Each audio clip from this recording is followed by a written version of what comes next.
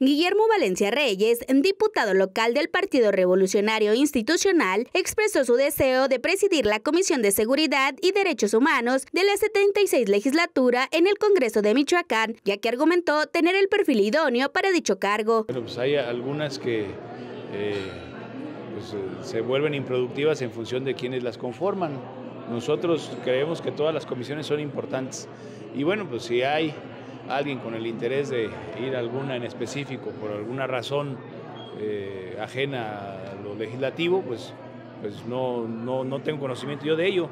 Eh, yo en la ruta que estoy, las dos digamos que más me interesan, que es seguridad pública y derechos humanos, no creo tener ninguna eh, ningún problema para llegar a las mismas por lo mismo de mi perfil. Priista señaló que las negociaciones para la asignación de comisiones siguen estancadas en el Congreso local, pero que espera durante la semana hay algún avance, razón por la que decidió alzar la mano porque tiene la formación para ejecutar de manera correcta las tareas de la encomienda. Dijo que sería lamentable que la oposición política ponga personas que no cumplen el perfil en ciertas comisiones únicamente por tener mayoría. Argumentó que todas las comisiones son buenas y tienen relevancias dentro de las tareas legislativas, por lo que reiteró que al momento de las negociaciones se tome en cuenta la formación de cada diputado. El tema de la, de la negociación de las comisiones no hemos avanzado, salvo la que ya se integró por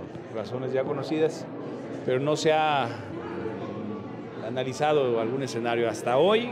Seguramente tendremos una reunión hoy más tarde o mañana para revisar eh, un primer escenario, pero no, no hay ningún avance al respecto. Actualmente, la única comisión que ya se acordó es la de puntos constitucionales. El resto podría tardar al depender de las negociaciones, sobre todo porque Morena tiene mayoría en el Congreso del Estado. Aunque a decir de Valencia Reyes, con o sin comisión, siempre buscará velar por la seguridad de los michoacanos. Cabe destacar que el diputado local es el fundador de la organización Revolución Social, civiles que realizan tareas de seguridad en la capital del estado. Informó para Noti 13, Margarita Reola.